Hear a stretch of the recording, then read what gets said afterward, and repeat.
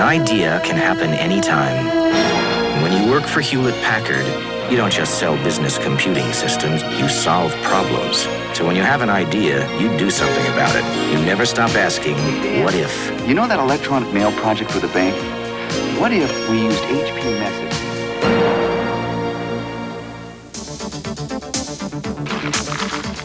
Here at Hewlett Packard, we believe that the best way to solve your business computing problem is to make it our problem. Because we know that whatever system we design for your company, we're going to live with it too. We never stop asking, what if? Wait a minute. They have this incredible backlog of data requests. You're right. What if we used the 3000?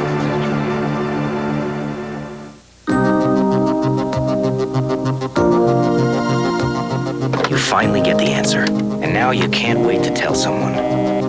Here at Hewlett Packard, we never stop thinking about how our business computing equipment can be used to solve your company's problems. It's the Hewlett Packard way of doing things. We're always asking, what if? I've got it. They need easy access to their database, right?